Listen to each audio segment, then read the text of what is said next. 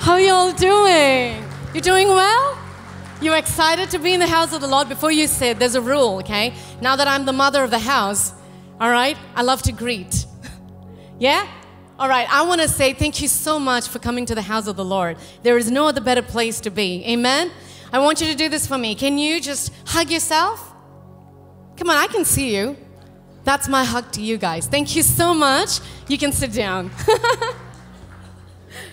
Whoa, I've got a chair, a stool here actually, just in case the word is too heavy.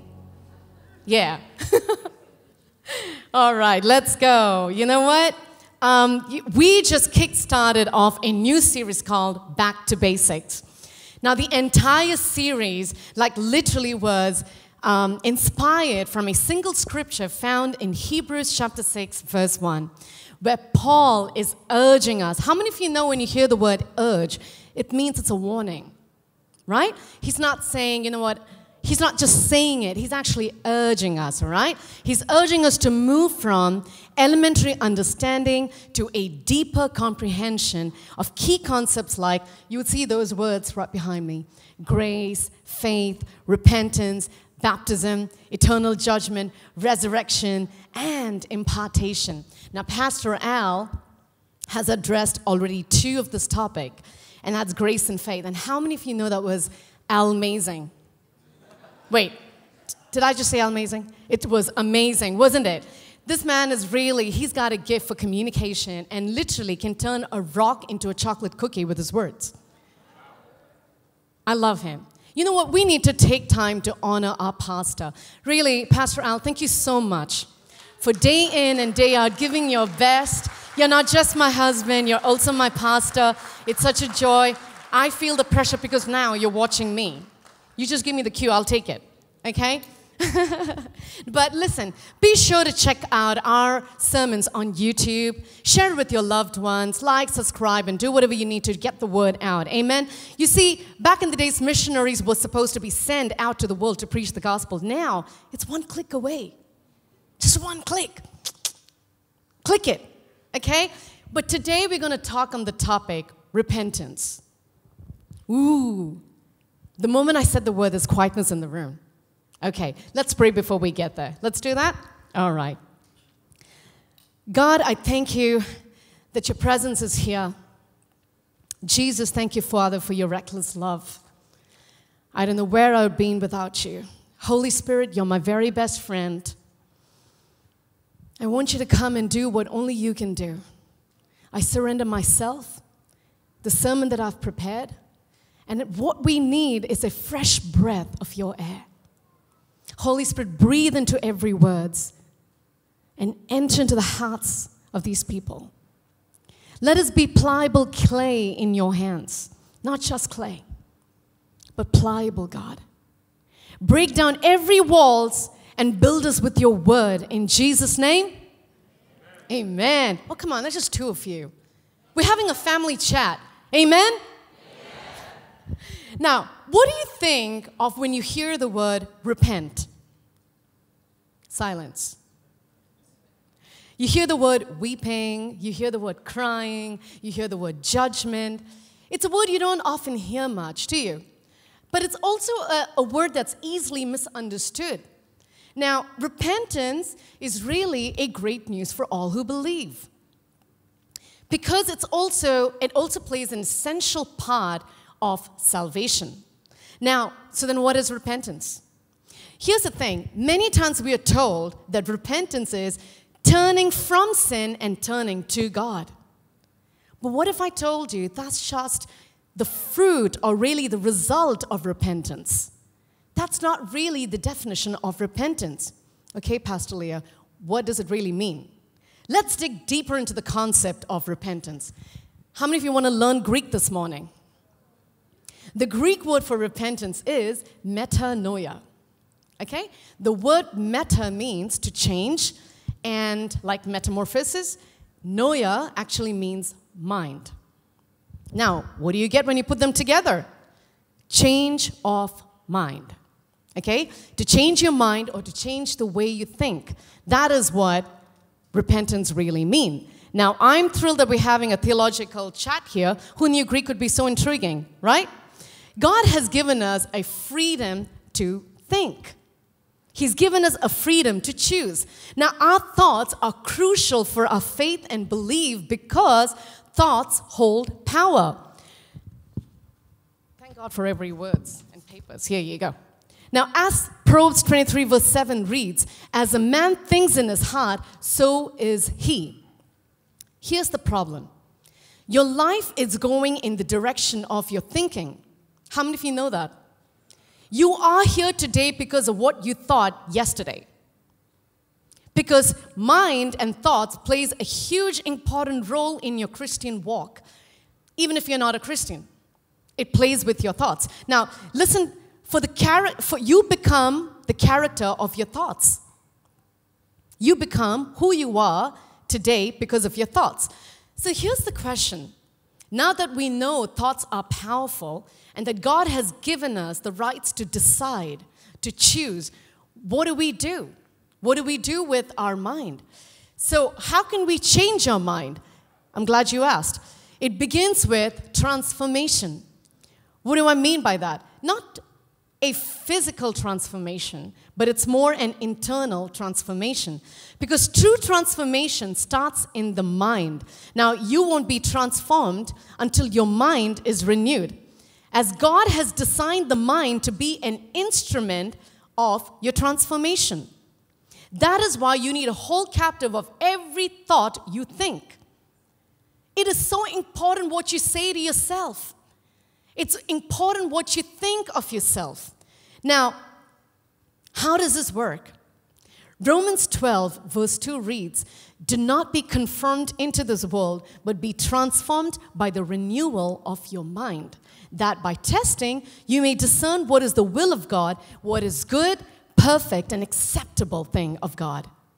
So, what is the thing you need to do to sort of like help with your thoughts? Read the Word. Read the Word. And this is why I cannot push or press importance on how important it is to read the Word of God. Because the world can tell you anything about yourself, the world can show you how to live. But the reality is that if you have the Word of God and if you can dig deeper into the Word of God, it will make you what it says. It will change you, it will transform you. It is unbelievable. The change is real. Now that we understand the power of thoughts and how transformation is connected to repentance, let's go a little further. You ready? Let's break the word repent. You get that into two parts, right? Re, as in re from repent, means to return back to the Father. Just like the prodigal son, he returned to his father. Now, we've all sinned and fallen short of God's glory, which is why we got to learn the concept of returning. Oftentimes, it's not a concept of, concept of making up for your mistakes, but rather just showing up. Sometimes we think because we sinned, we got to walk away, pull ourselves away from God. And until we get ourselves sorted, we don't come to His presence. And that is fear talking. But I want you to know repentance is making up your mind and making that turn. It's to return to your Father. It's to decide to move forward and go to your Father. And instead of sorting it all by yourself, just trust the Holy Spirit. Amen? So, is repentance a one time thing? I've heard people tell me, I got saved when I was 17.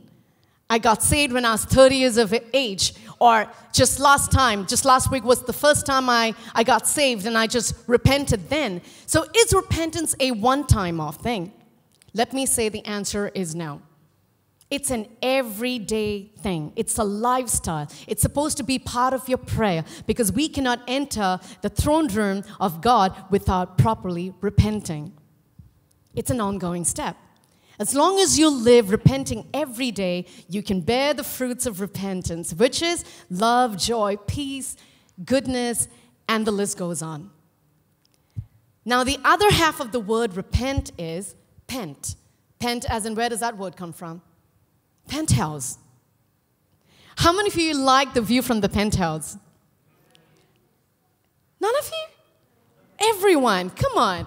The view from the downstairs is way different from what you see from a penthouse, true?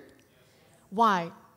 Anything and everything that looked big down looks nothing when you go up because it's the penthouse view, it's a perspective change. And that is what God is showing us in the penthouse of repentance. Now, we're not denying the fact that there, there is existence of problem down here. But the fact that a perspective can actually change your mind, can change the way you see things now, because there's a change of perspective. Now, some of us don't see repentance important because we haven't seen the penthouse yet. And God is giving us an invitation to enter into the penthouse. And the moment you enter into the penthouse, everything that you thought was so big and an issue, a problem, becomes nothing in His presence. Nothing. How do I know this? Because in the Bible, there's this man named Zacchaeus. You know, um, he was short in stature, but he was a stingy, shrewd, arrogant man. But despite of all his problems and his reputation, he sought God. He wanted to know who Jesus was. News spread that Jesus was walking past by. He was passing by. And you know what Zacchaeus did? He's like, you know what? I need to get to him. But you know what? My shortness is coming in the way. You know, my pride is coming in the way. My weakness is coming in the way. My sin is coming in the way. Zacchaeus thought nothing of that sort in his mind. You know what he did? The moment he knew Jesus was passing by and the moment he recognized there was a weakness, that shortness thing, he decided to walk over it and overcome it. He climbed a sycamore tree.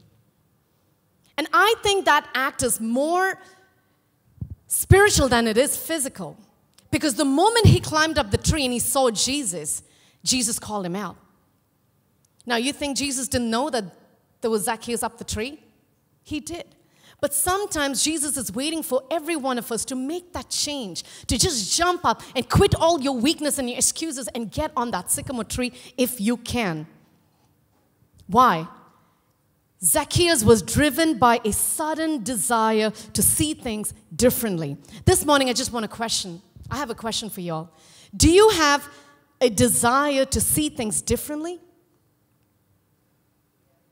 We all do. We all do, but it takes an act, an act of faith. Just climb up that sycamore tree. Break your pride, break your understanding, break everything that you knew of once, and just lay it down at the feet of Jesus. Zacchaeus needed a higher perspective, a penthouse view of God's grace and mercy, which in turn led to his repentance. Here's the thing a changed mind leads to a changed posture. A changed mind leads to a changed posture. It started with Zacchaeus thinking, God, I'm so limited, not just with my stature of shortness, but because of my pride, my mistakes. His thoughts was talking to him otherwise. But he made up his mind. He had a desire that just came up from nowhere. So, this morning, let me just tell you something. If you have the tiniest seed of desire, it can take you so much. It can take you somewhere. Now, let me show you where the word repentance is first mentioned in the New Testament. Matthew chapter 3, verse 1 and 2. In those days, John the Baptist came preaching in the wilderness of Judea, saying, Repent, for the kingdom of heaven is at hand. A chapter later, Jesus is going around and, and preaching the same thing. Repent, for the kingdom of, ha- of, of heaven is at hand. Now, I want you to watch the language of John the Baptist and Jesus. They didn't say the kingdom of hell, they actually said the kingdom of heaven is at hand. So, just as some of us think that repentance is tied so much to hell, I want you to know it is a good news. It brings the heaven first. And here, John the Baptist and Jesus, the moment you hear the word repent, we go like, oh, repent. And we know how to play it out so well. In fact, repent has got a very strong word. No one says repent. They say repent. But I want you to now take that word and break it down to that metanoia. And now tell me what exactly Jesus and John the Baptist was actually saying. Change your mind. Change the way you live. Repent from dead works. For John the Baptist saying, because one, there's one coming before me. I mean, after me. And then Jesus is going, Here I am. I'm the new covenant of grace and not law. Because now it's no more what you do, but it's me. Repent. Repent. It's a good word. Repentance from dead works. You know, based on what I've shared, here are some next steps you can apply when it comes to repentance. The first step is recognize. You know, you heard this word repentance, what it means, metanoia. You know it means change of mind, change your life, change the way you think. You understood where it is mentioned in the Bible, how Jesus and, and John practiced on it and preached on it. Now, how do we apply that in our personal life? The first step is recognize. How many of you find yourselves repeating the same mistakes despite asking God for forgiveness? You see yourself doing it again and again and again and again. When we cover our sins and fail to acknowledge them, we continue to stumble. Because we've learned to apologize, but we've never learned to repent. And many times, this is the problem. We think apologizing is like repenting. But that's not true. Just because you said sorry, I mean, of course, it's not too late to say sorry. You can say sorry, but that's not repenting. Repentance is not merely an emotion or a feeling of being overwhelmed. It is a decision, a decision to change. No one can make this decision for you. It must be personal desire. And I want you to understand this. I can't expect you to repent until you decide for yourself that you need to repent. And here's another thing I can't change your heart. Oh, what? No, I can't. I don't think anyone can change anyone's heart. You can influence your mind, that will in turn change your own heart. But see, if you change your mind, God in turn can change your heart. But He has given us the first choice and the first right thing to do, and that is change your mind. And He can't change your mind unless you decide for yourself. So, no matter how much I pray for you, how much I fast for you, you need to decide for yourself to make the change. And that's why the first step is to decide, to recognize, to build a desire from inside. And how do you do that? Let me think. Faith comes by hearing the word of God. Build your faith. And this morning, let me tell you something. You may go like, I don't have, I don't have enough faith in me, but you have the word of God. Take the book and read it. Two scriptures, let me tell you one thing, it's like a four course meal. Two verse is like a four course meal. I'm telling you, you're gonna walk a full. Just take the scripture and read it. Make it personal, make it practical, make it habitual. You can. Read the Word of God. Uh, now we've got a lot of podcasts, a lot of sermons, a lot of books available to build us up encourage us. But maybe what you need is not another encouraging word. Maybe what you need is repentance. Change your mind. Starts with recognition. It's a reminder that while we can plant seeds and water them, the growth and transformation comes from the individual's own decision and relationship with God. Repentance may include godly sorrow. So, what are you saying, Pastor Leah? Does it mean that crying does not mean it's repenting? Repentance, you know what, may include godly sorrow, but here's the thing sorrow does not always include repentance. Just because you cried, it does not mean you've repented. So, if repentance is not just being apologetic, then what exactly is it? It's like saying, God, I'm sorry, recognizing your mistakes, and making that turn, which is evident and transformative. Like the moment people see you, they know that you've been transformed into the image of Jesus Christ. And here's the thing how do I know? You will start looking less of yourself and more, more of Him. Your old character begins to sort of like deplete and completely dissipate, and it starts taking on the Jesus behavior. There used to come a time when someone would slap me, and then you would be like, I'm going to slap you back. Because that is the first initial response back. But the moment you have Jesus, the Bible says you turn your other cheek. I don't know how practical that is. But tell me about it. That's what the Bible says. It changes you, it makes you something you're not. And it makes you who you need to be, and that is like Jesus. Repentance. You know, Charles Spurgeon once said, The same sun that melts wax hardens clay. Interesting, isn't it?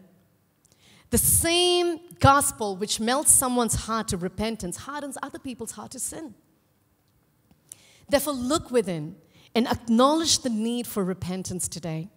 Know why you need to repent. We all need moments where we need to sit down and be critical with ourselves. Let's get real. As heaven is real, so is hell. But I know one thing for sure none of us want to spend our eternity in hell. No.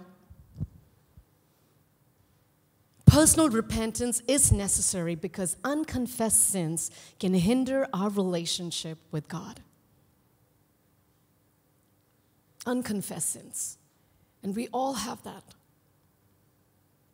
Can we not just simply humble ourselves down and go to the King of Kings and just say, Lord, I want to be, I want to be sorry, but I want to, I want to get right. I just want to get right. I don't want to do the same thing again and again and again. I want to have a revelation. And some of us just need a revelation. And then you'll stop doing that same sin again and again and again. Repentance shouldn't bring regrets, rather, it's a gift. What do I mean by that? It's an opportunity God is giving us. It brings comfort, not pain, hope, not hopelessness, faith and not fear, love and not hatred, life and not death. Repentance does not give regrets and it does not bring remorse. It actually brings a gift of joy. That once you repent, you feel so, so happy. So happy. So, if you're feeling broken, it's a good place to start. For the Lord is closer to the brokenhearted. Sometimes we must reach a place of brokenness to fully experience what God has for us, to experience God's forgiveness and love. How do I know this? King David. You know, King David poured his heart, his broken heart out to God. And this was a king who loved God deeply. But at the height of his reign, somewhere, he thought he could sin and get away with it until a prophet approached him. And you know what? Admonished him. And the Bible recounts that he sincerely repented. He first acknowledged his wrongdoing and recognized his need for God's forgiveness to restore him. And the Bible says, with a contrite and repentant heart, he sought to be made right with God once more. A repentant heart draws closer to God. A repentant heart draws closer to God. As Psalm 51, verse 17 says, My sacrifice, of God, is a broken spirit, a broken and a contrite heart. God, you will not despise. Now, David is saying, God, you don't desire burnt offering or sacrifice. What you truly require is a willing heart a heart that burns for you, a heart that's drawn to you, a heart that returns to you. The only reason we do what we do is to become more and more like Jesus. And my second point is to recalculate. In Acts chapter 3, verse 19, it says, Repent then and turn to God so that your sins may be wiped out, that the times of refreshing comes from the Lord. Now, we all are familiar with GPS, don't we? When we leave the route, whether accidentally or deliberately, the voice would say, recalculating. A GPS is designed not only to identify the wrong path, but also to help correct it. Then it would tell us how to get back on the right road, right? Now, the reason why we don't like our GPS is because we don't like to accept that we're wrong. Better yet, sometimes it makes you feel like you're a bad person. Can I say something truthfully today? I was being truthful all this while. But can I just be so real and candid? The struggle that I have seen in my pastoring life is that people like to be taught. but they never like to be disciplined and corrected. Because the moment you touch it, ah. you see, I've not even let, Jesus touch that part. Needless to say, you, Pastor.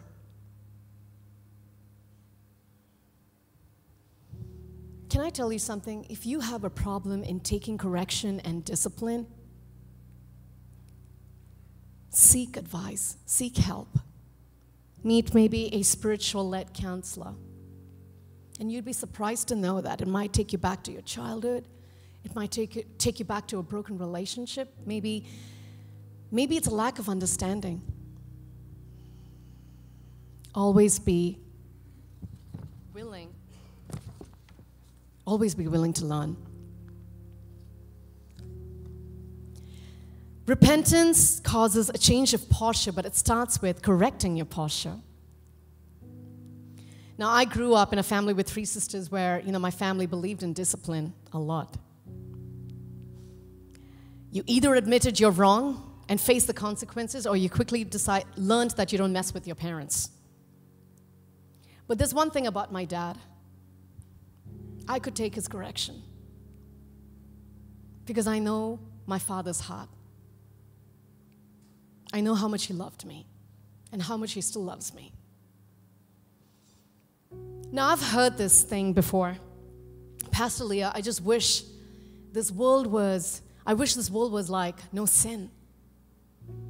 I wish it was peaceful, where there's no sickness, no sins, nothing whatsoever. A perfect place.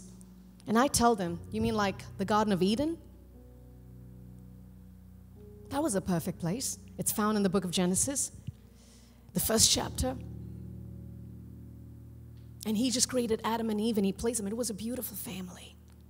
So beautiful. They had relationship, they had fun, they had fun naming animals and plants. Can you imagine Adam would just say, rhinoceros? Okay, let's name that rhinoceros. Absolute fun. The only thing God told them was not to eat the fruits of evil and good. Just do that. And yet they still fell. It's the same perfect place like how you and I want it to be. But here's the problem is it about a perfect place? They still fell. They walked with God, they talked with God, they ate with God, probably. They played with God, they had fun with God, yet they fell.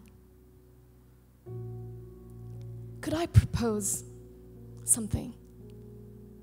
Eve must have walked and talked with God, but she probably would have never, Adam and Eve, I'm saying, they probably wouldn't have never known the heart of God. Just because you come to church, it won't change you. Just because you pray and ask God forgiveness, that's not going to change. You might really need a proper relationship with God, and to start seeing that, you need to first start seeing His heart. The nature of God is so beautiful. The Bible says He is so patient with us. And the Bible also says God's goodness leads men to repentance. If He's giving you a second chance, it's because He loves you, He cares about you, He wants you to make it.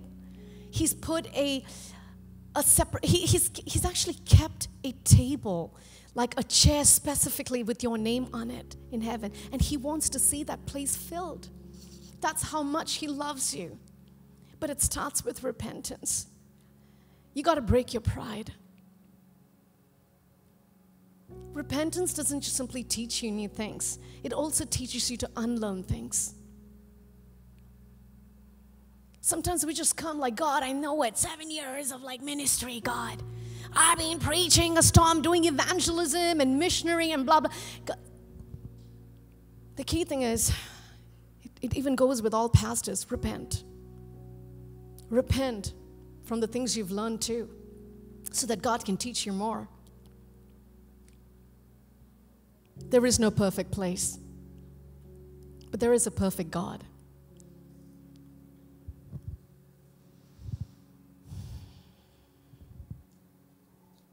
Thank you, Jesus. Let's just prepare as we come closer.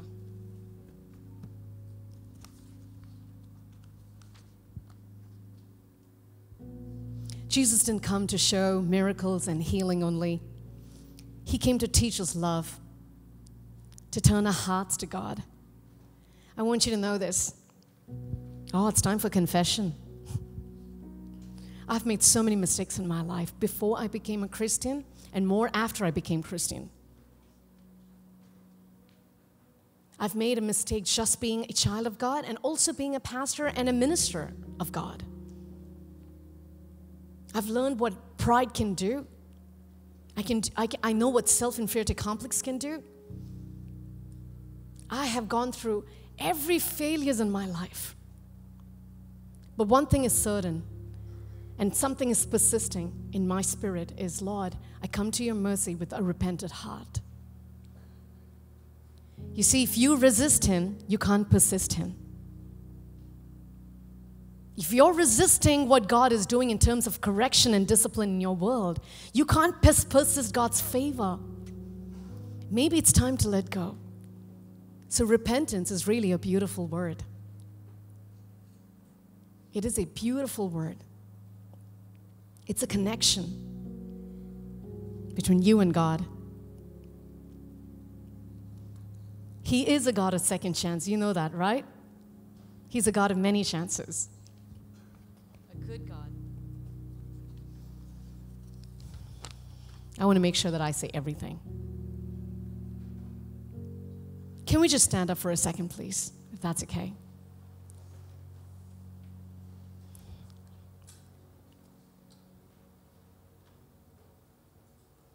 This morning, my prayer is that you would be just nothing but a pliable clay in God's hands.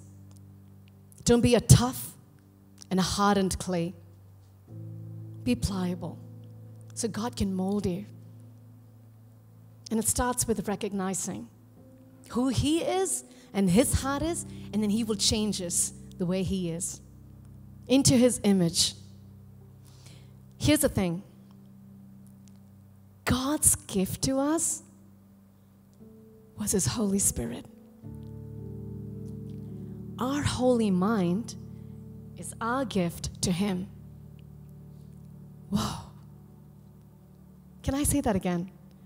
God's gift to mankind is the Holy Spirit.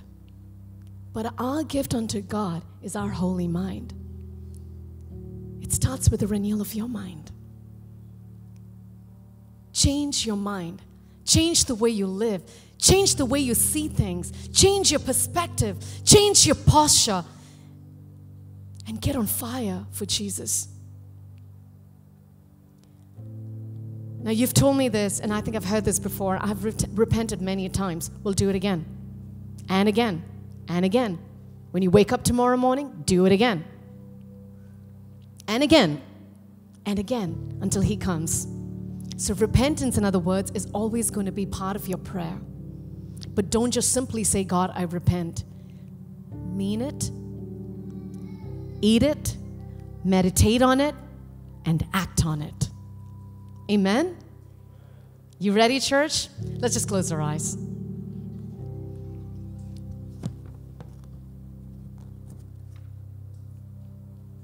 In His love driven patience, God is willing to give more time for more people to come to repentance. Now, this is God's plan to allow more people opportunity to place their trust in Christ Jesus in order to enter into eternal relationship with Him. God doesn't want anyone to perish or die because He loves you. So, Father, I just pray right now in the name of Jesus. If you can raise up your hands wherever you are, Father, we repent. We totally understand what repentance really means. It's to change our mind and change the way we see things and, the, and change the way we live. But it starts with renewal of our mind. So, God, I just pray that you would breathe your scriptures into us right now as I speak. Scripture of life changes. Thank you, Father, as we prepare our heart to repent once again. Do only what you can do, God. Break every walls of fear and pride and the complex everything. That we may become one with you, Jesus. I'm remembering and praying for every brothers and sisters who's raised their hands up in this room, God. Sweet Holy Spirit, can you please do what I can do? Come and fill this room with your presence and change me and them like you did and like you always do. Let the book of Acts come alive again, Jesus, because of our obedience. What you require from us is true surrender than any sacrifice, God. So we repent of our ways. Thank you, Jesus. Thank you, sweet Holy Spirit. Bless their week, their family, their health, and their children, and everything that they do, God. Let this week be a blessing, God, and let them understand and taste the fruits of repentance, God. This is the cry of my heart. Holy Spirit, fill us up. Fill us up, God. We are willing and we have a true desire to know you, God. Look, if you've never repented before and you need help, can I please ask of you to come forward so one of our prayer leaders can actually lay hands on you, believe with you, and pray with you? Let me remind you this is not a confession sort of a thing, but just take a step of faith if you need to. I know God is here. Pastor Al, I'll just give it to you now.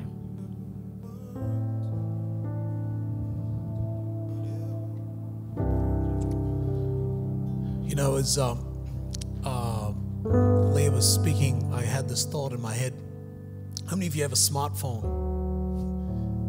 And uh, how many of you know that if you don't update and things fall out of whack?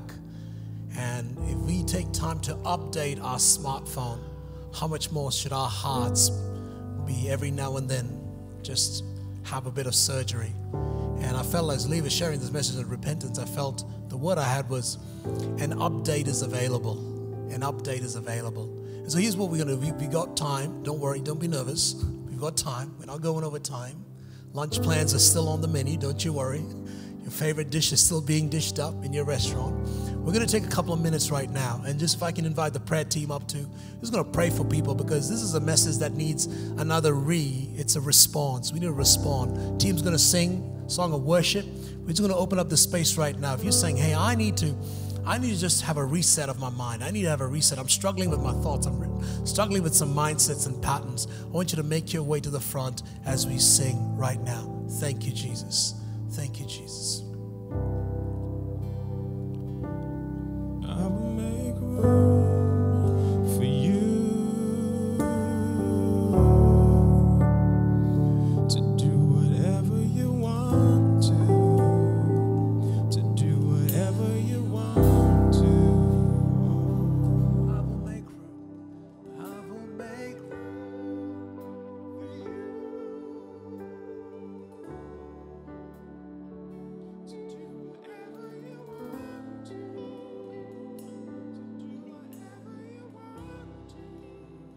Father God, we thank you for the invitation into your presence, that we can boldly come, that we can cry out to you for help, that we don't need to sort this thing called life on our own, that we can reach out to you. We thank you, God, for what you've done in this place. We acknowledge your presence. We thank you for this moment, for the reality of your presence in our lives. We thank you for what you've done in our hearts. Lord, we, this is not just a moment that we sort of press the end to, but this is an ongoing invitation. And I pray that we would take this moment, we would take this message into our Sunday, into our Monday, and through the rest of the weeks.